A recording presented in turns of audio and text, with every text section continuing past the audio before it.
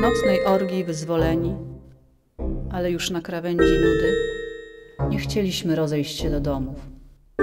Niektórzy poranieni światłem wschodu odpadli, ale nie my, fani nieustającej euforii. Feromony produkowane w smażalniach frytek wściekle atakowały nosy. Bezbronni poddawaliśmy się ich agresji, wierząc ciągle w swą wielkość.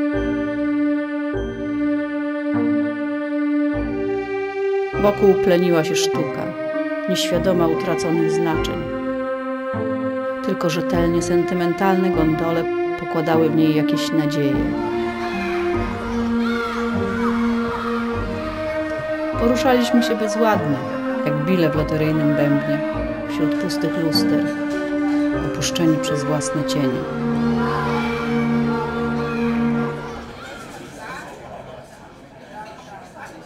Niby nic się nie działo.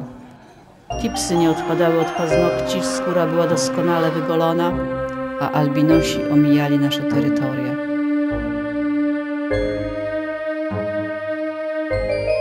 Jednak na naszych oczach znikały wszelkie różnice. Tajemniczy wirus kpił z potężnej broni jednorazowych higienicznych chusteczek. Służby ratunkowe zawiodły, zajęte harmonią kolejnych katastrof. Alarmowe syreny ochrypły, nawet ironia udawała nieżywą. Wszystko zostało już zanegowane i straciliśmy całą odporność. Obojętne lwy w złotych skafandrach ukrywały plany ratunku.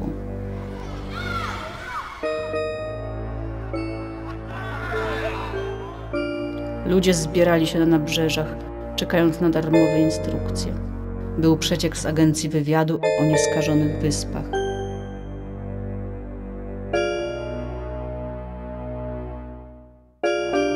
Uciekliśmy w morze, zwabieni folderami dzikiej natury. Kiedy wpłynęliśmy na głębie, słona woda obmyła oczy. Morze stało się czystą możliwością.